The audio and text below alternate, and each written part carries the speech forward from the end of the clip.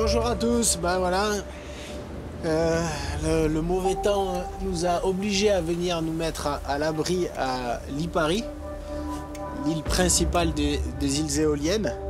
Derrière moi, c'est d'anciennes usines d'exploitation de la pierre ponce, complètement euh, abandonnées euh, depuis une quarantaine d'années.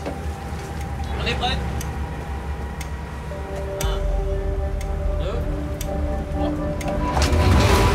dépit, on est venu se mettre là, à l'abri du mauvais temps, parce que ça souffle très fort à l'extérieur.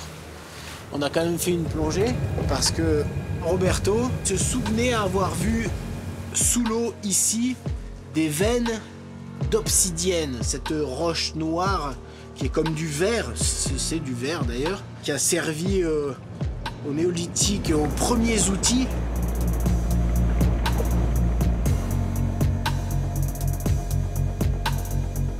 presque une pointe de flèche et on dirait presque une hache, ça.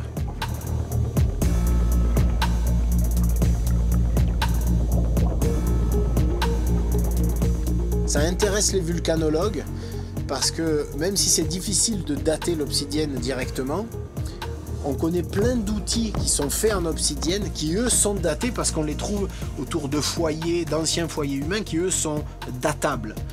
Et donc si cette obsidienne et ces outils qu'ils connaissent eux euh, ont la même origine, ça montrera que cette obsidienne-là qu'on a trouvée était hors de l'eau à cette époque. C'est-à-dire que le niveau de la mer était plus bas.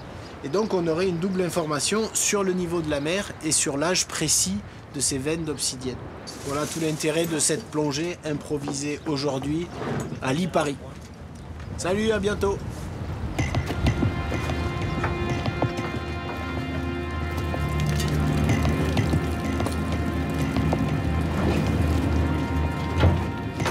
Il y a une histoire des, des archéologues que c'est le, le premier bateau qui a été trouvé.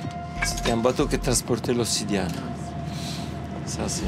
D'où l'idée que le premier commerce dans le monde, c'était le commerce de l'obsidienne. Ça, c'est vrai. 5000 ans avant Jésus-Christ. avec ça alors. Avec ça Un milliardaire. Avec ça, je Avec ça, t'es milliardaire. Putain, ce choses blog. contre un truc cool. Elle est belle, hein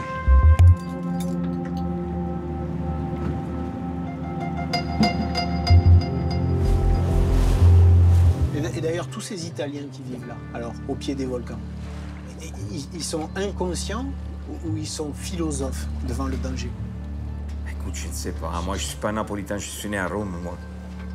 Bon, bah, tu, tu sais ce qu'on dit des Romains en France? Non. Qu'est-ce qu'on dit en France? On dit ils sont fous ces Romains. Ah ah, c'est qui qui dit ça?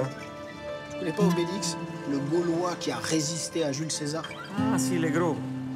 Non, pas gros, il est juste enveloppé. Avec son petit ami, là, comme s'appelle Astérix. Voilà, la- bande dessinée. c'est-. Eh Oui, mais ça, c'est pas en France, BD. Ah bon, et c'est où alors? C'est un Gaulle. C'est goal. c'est vrai. Tu nous amènes où la prochaine fois? Bah, peut-être sur mon île. Ah, la fameuse. Ton île secrète, c'est ça?